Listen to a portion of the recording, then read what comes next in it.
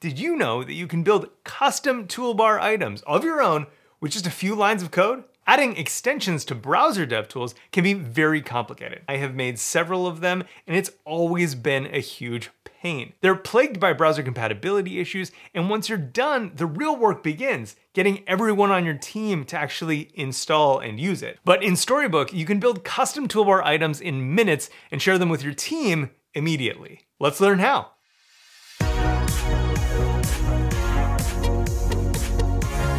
Hey, I'm Chantastic, and I'm here to help you become a Storybook Pro. If you'd like to level up your UI engineering game, subscribe for tips and tutorials with me. Today, we'll create a custom toolbar item for your Storybook UI. We'll add a locale dropdown that allows you to select a locale and update your story with that language. We'll build upon last week's tutorial where we installed React i18next, an internationalization library.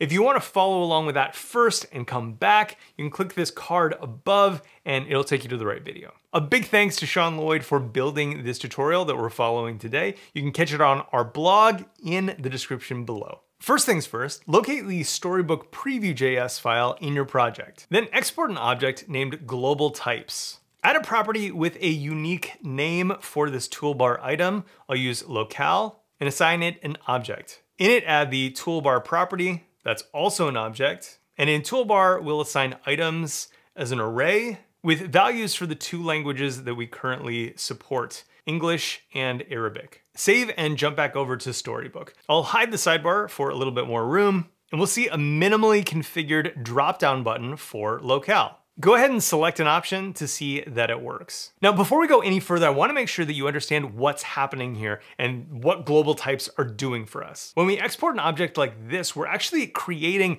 a linked UI between this dropdown and the URL. If we go to the end of this URL, we'll see this query string for globals, and in it we'll have locale with a value of en. As we change this, that URL updates, locale AR. We can change it in either place and the value syncs. There's a little bit of magic to global types, but it's all magic that's visible to you via the URL and this dropdown button. Now that we have a good sense about how global types work, let's take a look at some of the configuration options that will give us a better user experience. First is name. Add a name property to this global type. This is a string, it can have special characters, whatever you want. Now, without impacting the variable name or what we see in the query string, we can change the name that's presented inside the toolbar.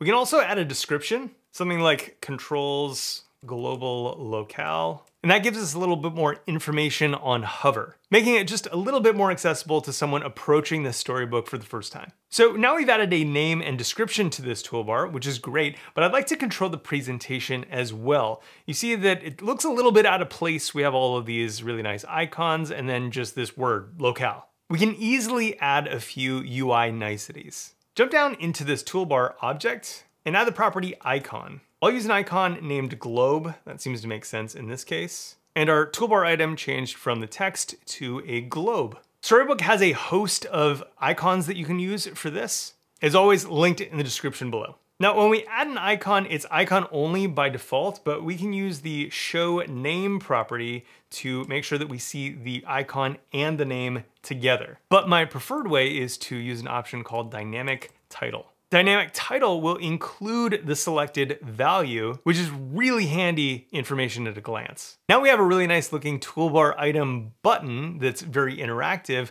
but we can make the options look really nice as well. We start by changing this simple string option to an object and assigning this value to the property value. We then also need a title. If I put en here again, this is equivalent to the string version that we had before. But now that we're defining both individually, we can change this to something more human readable, like English. We can do one last thing, which is to add a flag to either the right or left of this text. Use my emoji picker, find the American flag, and save. Now when we click on this dropdown for locale, we see the American flag and the word English but we still retain the literal value of en. Let's give our Arabic translation the same treatment, save. And now we see both translations looking really great, much more friendly than their literal values. If your goal today was just to learn about custom toolbars in the Storybook UI, congratulations, you've done it. That's all you need to know. But if you followed along with our tutorial last week where we integrated React i18next and Storybook, well, then we have a few more steps to actually make this dropdown work. So let's wire up this toolbar item to our components. Over on the Storybook blog, our friend Shaun Lloyd has created a really great tutorial for connecting i18next and Storybook. If you scroll down, you'll find the exact configuration that we need. It's after all of the initial setup, a little bit further down here. This is the part that we covered today, right here. Let's copy and paste it, and I'll tell you what it does. Just drop that in right here. Make sure that we have all of the required imports, which will be use effects, and suspense from React, and the i18next provider from React i18next. So what do we have? We have here a new decorator. A decorator is kind of like a storybook higher order component. It will take the story that's being rendered and the context.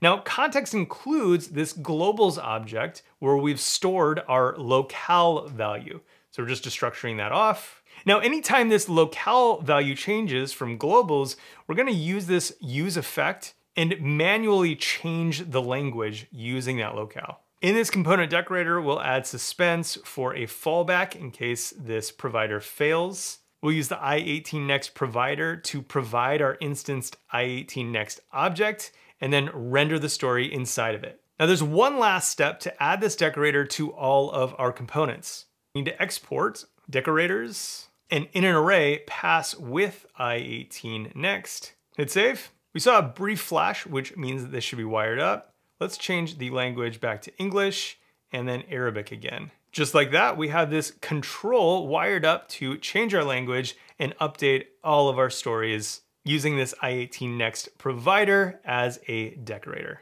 Now, there is one little point of configuration that I did skip over that impacts you if you're using Storybook 6.5, React 18, and React i18next. We're working on a fix, but right now, these three libraries don't love working together with React 18's new root API. React 18's new root API is enabled by default in Storybook 6.5. So if you want to disable it, just open the main file and make sure that you have React options, legacy root API true. Now, this will all be sorted out soon, but if you're sitting there right now pulling your hair out with these infinite spinners and not getting your translations to load, this is probably the reason. Add that option, you'll be good to go. So that's it for me. If you have questions about building custom toolbar items using global types, feel free to leave them in the comments below.